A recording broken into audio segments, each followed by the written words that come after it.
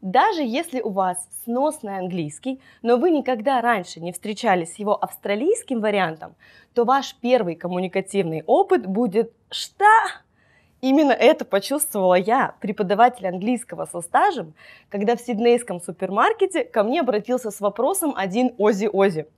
Поэтому советую перед поездкой в страну кенгуру немного подготовиться. Здравствуйте, меня зовут Юлия Хукаленко. Я кандидат филологических наук и автор нескольких онлайн-курсов.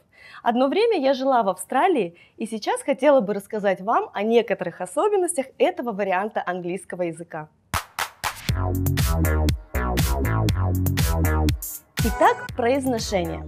Сочетание IR, ER и UR ближе к британскому, а не американскому варианту, как прочитала я.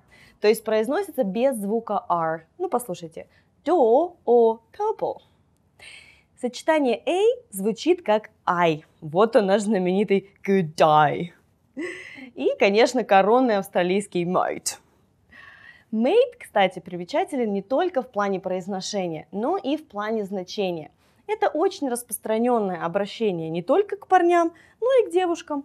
Не только к друзьям, но и к совершенно незнакомым людям. Got it, mate?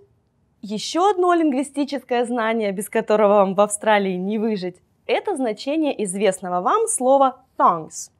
Если вам скажут «You shouldn't wear thongs at university», это не повод выпасть в осадок – ибо thongs на австралийском – это всего лишь шлепанцы. Еще одно австралийское словечко о них самих, которое я использовала в самом начале, это Оззи.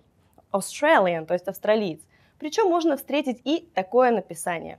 Кстати, свою страну Австралию они называют Straya.